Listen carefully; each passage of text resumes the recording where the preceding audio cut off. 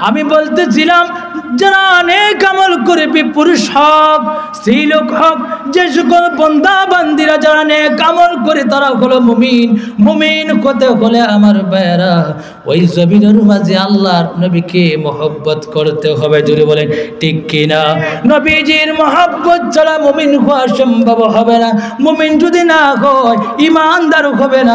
ইমানদার যদি না হয়, আমার ভাইয়েরা, আল্লাহর জন্নত পাওয়া সম্ভব হবে না। নবীকে এমন ভালোবাসতো আমার পায়রা। সাহাবাইকে আমরা নবীকে এত ভালোবাসতো, দেখেন আমার পায়রা। সমস্ত সাহাবিরা নবীজিকে এত অগ্রাধিকার দিতা। হজরতেরা বিয়ারা দি আল্লাহ তালানহা গভীর রজনীতে আল্লাহর হাবিব রাহমাতুল্লিল আলামিনকে হুজুর ফানি দিতেন আমার ভাইয়েরা যখন উজুর ফানি দিতেন, তখন আল্লাহ নবীজি বলেন হালিয়া রাবিয়া, তুমি আমার কাছে কিছু চাও? হজরত রাবিয়া বলেন, ইয়া রসুল আল্লাহ ইয়া হাবিব আল্লাহ আমি আপনার কাছে এর বিনিময়ে কিছু চাই না। আস আলুকা মুরাফাকাতাকা ফিল জান্নাহ, ইয়া রসুল আল্লাহ ইয়া হাবিব আল্লাহ এর বিনিময়ে আমি আপনার কাছে কিছু চাই না, ধন চাই না, সম্পদ চাই না, সম্পত্তি চাই না। ইয়া রসুল আল্লাহ ইয়া হাবিব আল্লাহ আমি চাই শুধু একটা জিনিস আস আলু কামুরা ফকতাকা ফির জান্না আপনার সঙ্গে জন্নত থাকতে জুড়ে বলেন সুবাহান আল্লাহ আরও একটু জুড়ে বলেন সুবাহান আল্লাহ ওই যেটা দেখাইছেন ওটার নাম হলো ইমান। হাসরের ময়দানে আমার ভাইয়েরা, মসজিদ ভর্তি থাকবে আমার ভাইয়েরা। আল্লাহর নবীজি আসিয়া বলবেন, লাইসা ফিহি মুমিনুন। এর মধ্যে একজন মুমিন নয়। এর মাঝে একজন মুমিন নাই। বলেন তো, যারা মসজিদ ভর্তি, যারা মসজিদ ভর্তি মুসল্লিরা থাকেন, তারা কি মুমিন না? তারা ভালো মানুষ জানি মুমিন। নবীজি বলেন, না না। এমন জমানা আইব মসজিদ ভর্তি থাকব আল্লাহ। নবীজি বলেন, লাইসা ফিহি মুমিনুন। এর মাঝে একজন মুমিন নয়। আমার বয়রা সাহাবাইকে আপনি বলবেন, ইয়া রাসূলুল্লাহ, ইয়া হাবিবাল্লাহ, কারণ কি? কীভাবে মুমিন নয়? আল্লাহ নবীজি বলেন, রে সাহাবিরা, শুনো জানিয়া রাখো জমিনের মাঝে তারা বলতো, আমাদের এবাদত করে কি লাভ হবে? আমল করে কি লাভ হবে? আমার তো ইবান জাগাত আছে। আমি তো মুসলমান, আমার তো ইমান জাগাত আছে, নমাজ পড়ে কি লাভ হবে? এবাদত পড়ে কি লাভ হবে? বন্দেগি করে কি লাভ হবে? আমার তো ইমান জাগাত আছে তারা ওইভাবে দুনিয়ার জমিনের মাঝে বসবাস করত, আর আমি নবীকে দুকা দিত আমার ভাইয়েরা। তারা ওই মসজিদের মাঝে বছরে একবার তারা মসজিদে চলে যায়। তারা হলো ওমর খোদা নমাজি, মানুষ দেখানোর জন্য তারা নমাজ আদায় করে। আল্লাহর বিধান মানে না। অমান্য করে চলাফেরা করে, যার কারণে তারা মুখে বলে, আমি মুসলমান, আমি ইমানদার, রে সাহাবাইকার আমরা শুনো শুনো। ওই লোকেরা ওই মিনার তীর শিকার যেভাবে বাইর হয় ওই রকম বন্দা বান্দিরা যেই সকল আছে, সমস্ত বন্দা বান্দিরা দিনে ইসলাম থেকে ওইভাবে বাইর হবে জুড়ে বলেন, নাউজুবিল্লাহ। দিন ইসলাম থেকে ওইভাবে তারা বাইর হবে। আমাদের সমাজের মাঝে আছে কিনা এক গুরু মুসলমান আছে নানি বলে আমার তো ইমান আছে। আছে নানি আমার তো ইমান আছে। নামাজ পড়ে কী লাভ হবে? আছে নানি দেখবা মসজিদে যখন যায়, যাওয়ার পরে ছটফট আরম্ভ শুরু হয়ে যায়। যদি বলেন, ঠিক কিনা? দিলের মাঝে ছটফট আরম্ভ হয়। কারণ কি? একটা কারণ হলো, তার শরীরের যে ব্লাডগুলি আছে, ওই ব্লাডগুলি পবিত্র নয়। ওই ব্লাডগুলি কি? পবিত্র নয়, অপবিত্র। যার কারণে ওই লোকটা মসজিদে যাওয়ার পরে ছটফট আরম্ভ করে ইমাম সাহেব যখন তিলাবত করেন, তখন গলা দিয়ে ডাকায়, গলা কি দেয়। জোরে বলেন, ঠিক কি না গলা কি দিতে থাকে। ওই লোকটার বোঝা যায় কষ্ট হয়। যত সময় তাড়াতাড়ি যদি নমাজটা শেষ হয়ে যেত, তাহলে তাড়াতাড়ি মসজিদ থেকে বাইর হয়ে যেত। জোরে বলেন, ঠিক কি না আমার আল্লাহ তারা বলেন বন্ধনে আমি আল্লাহ তালা তোমাদেরকে ওই পৃথিবীর মাঝে সৃষ্টি করেছি। আর পিছে তোমার পিছে আমি শয়তানের মর্দুদ লাগাইয়া দিয়েছি। বন্দারে, ধন দিয়েছি, সম্পদ দিয়েছি। আমি আল্লাহ তালা তোমাকে ইঞ্জিনিয়ার বানাইছি, ডাক্তার বানাইছি। আমি আল্লাহ তালা তোমাকে সম্মানী বানাইছি। বন্দারে, হাজার ঝামেলা দান করছি। তোমাকে আমি আল্লাহ তালা পরীক্ষা করতেছি। যদি ওই পরীক্ষার মাঝে তুমি যদি পাশ করতে পারো, তাহলে তোমার জন্য জন্য ওয়াজিব। আর ওই পরীক্ষার মাঝে যদি তুমি পাশ করতে পারো না, তোমার জন্য জাহান্নাম ওয়াজিব। এইরকম লোক আছে কিনা? জোরে বলে, আছে। আমার বাইরা গভীর মনোযোগ, নবীজি বলেন যারা মসজিদের মাঝে ঢুকিয়া ছটফুট আরম্ভ করে, তাদের শরীরের সমস্ত ব্লাডগুলিও পবিত্র, তারা মমিন নয়, তারা ইমানদার নয়। যার কারণে তারা হারাম।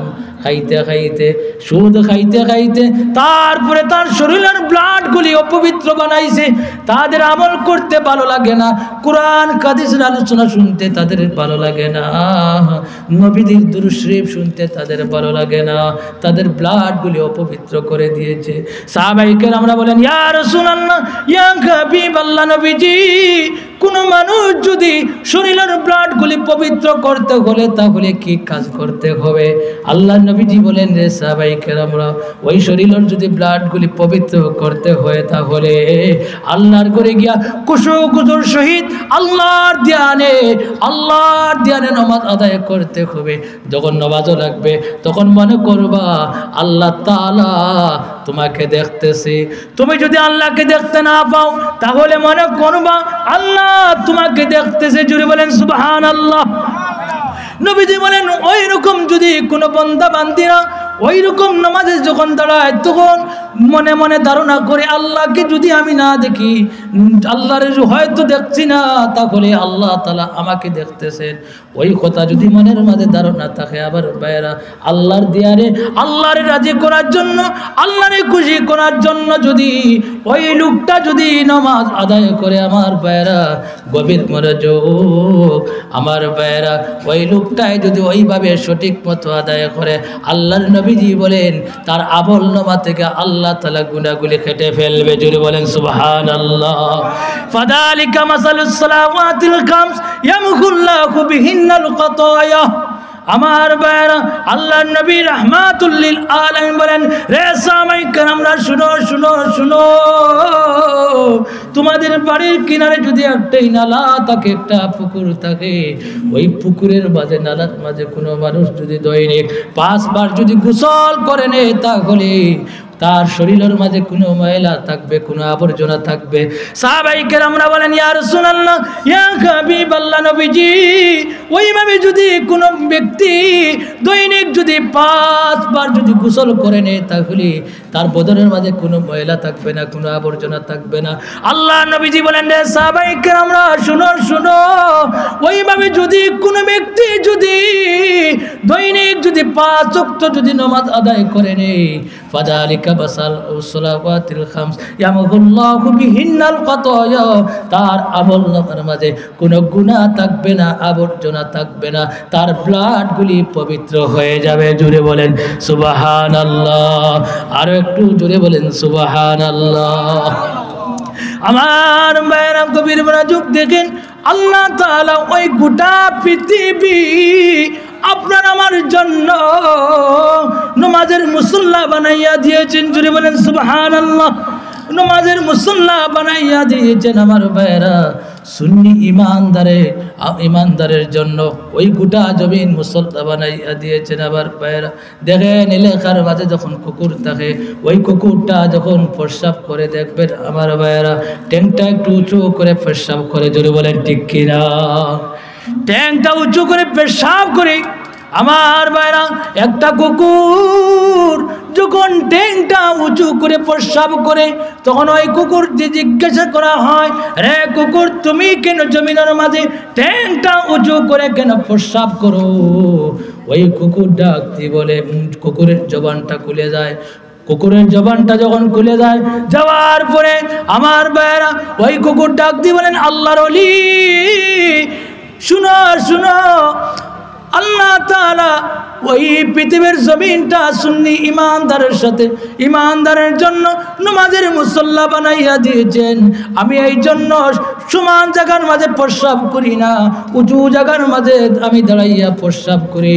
এই জন্য পেয়ারা হাবিব রাহমাতুল্লিল আলামিন আলামির গুনাগার উম্মতেরা নমাজ পড়ার জন্য আল্লাহ তাআলা নমাজের মুসল্লা বানিয়ে দিয়েছেন। জুড়ে বলেন সুবাহান আল্লাহ আরও একটু জুড়ে বলেন সুবাহান আল্লাহ আরও একটু জুড়ে বলেন সুবাহান আল্লাহ এই কুকুর আমার বাইরে কুকুরটা বুঝে, সেই কুকুরের বুঝ আপনার আমার কাছে নাই।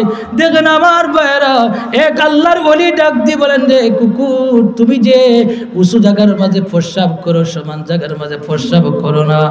একমাত্র পেয়ারা হাবিব রাহমাতুল্লিল আলামিনর এতিম উম্মতের উম্মতদের জন্য মহান আল্লাহ তালা গোটা জমিন নমাজের মুসল্লা বানিয়ে দিয়েছেন। যেখানে মন চায় সেখানে ওই লোকটা নামাজ আদায় করতে পারবে।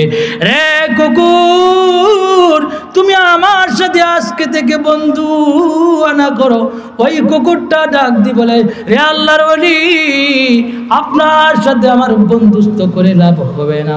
কারণ মহান আল্লাহ তাআলা দুই জাতিকে আল্লাহ তাআলা ফয়দা করেছেন। দুই জাতির হাসরের ময়দানে বিচার হবে। আপনার সাথে আমার বন্ধুত্ব করে কোনো লাভ হবে না, উপকার আসবে না। আমার দেখেন ওই কুকুর সব কিছুই জানে। আপনি আমি নবীর নবীর উম্মত হইয়া, আমার বাইরা ওই নবীর এতিম উম্মত হইয়া, আপনার আমার ভিতরে এই জ্ঞান নাই। আল্লাহর যদি বিধানগুলি যদি মানিয়া ওই পৃথিবীর জমিনের মাঝে যদি বসবাস করি, তাহলে মৃত্যুর পরে আটটি জন্নতের মেহমান হব? ওই যদি জ্ঞান আপনার আমার দিলের মাঝে যদি তাকে আমার বাইরা তাহলে আপনি, আমি ওই পৃথিবীর মাঝে আল্লাহ তালার নেক আমলের দিকে মতওয়াজ্জ হইতাম আমার বাইরা নেক আমল করতাম আমার বাইরা ভালো ভালো কাজ করতাম, দুনিয়ার মাঝে ভালো ভালো কাজ করে আপনি আমি বসবাস করতাম। আল্লাহ নবীজি বলেন, কোন মুমিন বান্দা যখন ভালো ভালো কাজ করে যখন মারা যায়, ওই পৃথিবীর সমস্ত মানুষেরা যখন প্রশংসা করবে, চল্লিশ জন যদি মানুষে যদি প্রশংসা করে নেয়, ওই লোকটা বড় মানুষ আসলো, ওই লোকটা বড় ভালো মানুষ ছিল। নবীজি ফরমান, ওই লোকটার জন্য আমার আল্লাহ তাআলা আটটি জন্নতের দরওয়াজা খুলে দিবে। জোরে বলেন সুবাহান আল্লাহ আর একটু জোরে বলেন সুবাহান আল্লাহ আমার বেড়া পেয়ারা হাবিব রাহমাতুল্লিল আলামিন বলেন, আমার বেড়া যে ব্যক্তি পাঁচ নমাজ সঠিক মতো আদায় করবে, আমার আল্লাহ তাআলা ওই লোকটারে পাঁচটি পুরস্কার দান করবে জুড়ে বলেন সুবাহান আল্লাহ আর একটু জুড়ে বলেন সুবাহান আল্লাহ কোন পুরস্কার আমার বেড়া যেই ব্যক্তির খানের মাঝে আওয়াজ চলে আসে, আজান শোনা মাত্র লোকের সঙ্গে সঙ্গে ওই ব্যক্তি নামাজ পড়ার জন্য যখন প্রস্তুতি নেবে আমার পায়েরা আল্লাহ তালা বলেন, ওই লোকটা যখন আজান শোনা মাত্র নামাজ পড়ার জন্য প্রস্তুতি নেই, যেখানে থাকুক না কেন, বন্ধের মাঝে থাকলে জমিনের মাঝে থাকলে যে জায়গায় থাকুক না কেন, সেই জায়গায় সঙ্গে সঙ্গে নামাজ পড়ার জন্য প্রস্তুতি নেই আল্লাহর নবীজি বলেন, মহান আল্লাহ ওই লোকটার সরকারটা আসান করে দিবে। জোরে বলেন সুবহান আল্লাহ দুই নম্বর পুরস্কার হলো আমার বায়রা আল্লাহ নবীজি বলেন দুই নম্বর পুরস্কার দান করবেন। মহান আল্লাহ তালা ওই লোকটা যখন মসজিদের মাঝে যাইয়া নমাজ আদায় করবে, সঠিক মতো আল্লাহর দিয়ারে নমাজ আদায় করবে, তখন আমার আল্লাহ তালা ওই লোকটারে আরও জোর সায়ার তলে আশ্রয় দিবে, জোরে বলেন সুবাহান আল্লাহ আরও একটু জোরে বলেন সুবাহান আল্লাহ তিন নম্বর পুরস্কার আমার আল্লাহ নবী রহমাতুল্লিল আলামিন বলেন, তিন নম্বর পুরস্কার ওই ব্যক্তিকে দান করবে। যেই ব্যক্তি আজান শোনা মাত্র মসজিদে যাইয়া তকবিরে উলার সাথে নামাজ আদায় করবে, জমাতে নামাজ আদায় করবে। আমার ভাইয়েরা, আল্লাহর নবীজি বলেন, ওই লোকটারে তিন নম্বর পুরস্কার আমার আল্লাহ তাআলা দান করবে। আমার আল্লাহ তাআলা ওই লোকটার সমস্ত গুণাগুলি তুই মুছে পরিষ্কার করে আমার আল্লাহ ওই লোকটারে আটটি জন্নতের মেহমান বানাইয়া দিবে জুড়ে বলেন, সুবহানাল্লাহ। চার নম্বর পুরস্কার হলো আল্লাহর নবীজি বলেন, যে ব্যক্তি মসজিদের মাঝে যাইয়া সঠিক মতো নামাজ আদায় করবে, আল্লাহর ধ্যানে নামাজ আদায় করবে ওই ব্যক্তিকে আমার আল্লাহ তালা ওলি বানাইয়া আল্লাহর বন্ধু বানাইয়া ওই জমিন তাকে উঠাইবে। জোরে বলেন সুবাহান আল্লাহ পাঁচ নম্বর পুরস্কার হলো আমার বাইরা আল্লাহ নবীজি বলেন, যে ব্যক্তি আমি নবীজির মহাব্বত নিয়া আমি নবীজির ভালোবাসা নিয়া পাঁচ অক্ত নমাজ আদায় করে কুসু কুসুর সহিত নামাজ আদায় করে। আমার আল্লাহ তালা ওই ব্যক্তিকে পাঁচ নম্বর পুরস্কার দান করবে। ওই ব্যক্তির মৃত্যুর সাথে সাথে ওই লোকটার জন্নতি সার্টিফিকেট দিয়া আমার আল্লাহ তাআলা ওই লোকটার মরণ দিবে। জোরে বলেন সুবাহান আল্লাহ আরও একটু জোরে বলেন সুবাহান আল্লাহ আরও একটু আওয়াজ দিয়ে বলেন সুবাহান আল্লাহ হাদিস শরীফের মাঝে আছে, আমার ভাইয়েরা, ষাটটি গুণ জাত পাওয়া যাবে। আমার ভাইয়েরা, ওই লোকটা জমিনের মাঝে সাকসেসফুল ওই লোকটা জমিনের মাঝে সাকসেসফুল ওই লোকটা আল্লাহওয়ালা, ওই লোকটা নবীওয়ালা। ওই লোকটা আল্লাহর বন্ধু, ওই লোকটা আল্লাহর অলি। জুড়ে বলেন সুবাহান আল্লাহ কোন ষাটটা গুণ? আমার ভাইয়েরা আল্লাহ নবী রাহমাতুল্লিল আলমিন বলেন, যে ব্যক্তি জমিনের মাঝে তার মা বাবাকে মহাব্বত করবে সর্বপ্রথম তার মা বাবাকে স্নেহ আদর করবে, যত্ন করবে। আমাদের সমাজের মাঝে অনেক লোক আছে আমার পায়েরা দেখেন যখন মা বাবা বৃদ্ধ হয়ে যায়, তখন ওই মা বাবার সাথে অবৈধ আচরণ করে। জোরে বলেন, ঠিক কিনা? অবৈধ আচরণ করে, যখন বিবাহ করে, বিবাহ করার উপরে তখন মা বাবা রেখে আলাদা হয়ে যায়। জোরে বলেন, ঠিক কিনা? মা বাবা রেখে আলাদা হয়ে যায়। আমার ভাইরা ওই রকম লোক আমাদের সমাজের মাঝে আছে কি না আমার ভাইরা নবীজি বলেন হৃদর রব্বি ফি হৃদল ওয়ালিদ ওয়া সাকাতুর রব্বি ফি সাকাতিল ওয়ালিদ। যে ব্যক্তি, আমি আল্লাহকে খুশি করতে চাই ওই ব্যক্তি তার মা বাবাকে আগে খুশি করতে হবে। তার মা বাবা যদি খুশি হয়, আমি আল্লাহ তালা ওই লোকটার জন্য খুশি হব। আর ওই লোকটার যদি মা বাবা যদি তার উপর যদি খুশি থাকে না, আমার বেড়া আমার আল্লাহ তালা ওই লোকটার উপরে উপর নারাজ থাকেন। আল্লাহ যদি নারাজ হয়ে যায়, মা বাবা যদি নারাজ হয়ে যায়, আমার বাইরা দুনিয়ার জমিনের মাঝে বসবাস করে কোনো ফায়দা নাই। আপনি লক্ষ লক্ষ টাকার মালিক হতে পারেন। আপনার মা বাবাকে দাঁড়াইয়া দিয়েছেন আমার বাইরা বিভিন্ন আপনি সংসার করতেছেন আমার বাইরা আপনি লক্ষ লক্ষ কোটি কোটি টাকার মালিক হতে পারেন, গাড়ির মালিক হতে পারেন আবার বাইরা দুনিয়ার সম্মান থাকতে পারে, আখেরাত আপনার বিন্দু পরিমাণ সম্মান থাকবে না। আপনি আবাদত বন্দিকে করেন? আপনি হাজার হাজার বার হজ করেন। আপনি হাজার হাজার বার আবাদত বন্দিকে করেন? তাহাজ্জুদের নামাজ পড়েন। কোন আবাদত বন্দিকে আল্লাহর কাছে মঞ্জুর হবে না? কোন হজ আল্লাহর কাছে মঞ্জুর হবে না। কোন জকাত আল্লাহর কাছে মঞ্জুর হবে না। দান দক্ষিণা আল্লাহর কাছে মঞ্জুর হবে না। কোনো কিছুই মহান আর আরশের মালিক আল্লাহ তাআলার কাছে কোনো কিছুই মঞ্জুর হবে না। আমার ভাইয়েরা, যে সকল যুবক ভাইরা আছেন আমার ভাইরা আপনাদের উপর যদি আপনার মা বাবা যদি নারাজ হন, তাহলে আপনার মা বাবার কদমা ধরে আপনি আপনি আজকে বাড়িতে যাইয়া আপনার মা বাবাকে খুশি করবেন। আপনার মা বাবাকে যদি খুশি করতে পারেন, মহান আল্লাহ তাআলা আপনার উপর খুশি হয়ে যাবে। আমার ভাইয়েরা, রিদার রব্বি ফি রিদাল ওয়ালিদ ওয়া সাকাতুর রব্বি ফি সাকাতিল ওয়ালিদ। মহান আল্লাহ তাআলা যদি ওই লোকটার উপর যদি খুশি হয়ে যায়, আমার আল্লাহ তাআলা খুশি হইয়া ওই লোকটার জন্য আটটি জান্নাতের মেহমান বানাইয়া দিবে। জুড়ে বলেন সুবহানাল্লাহ।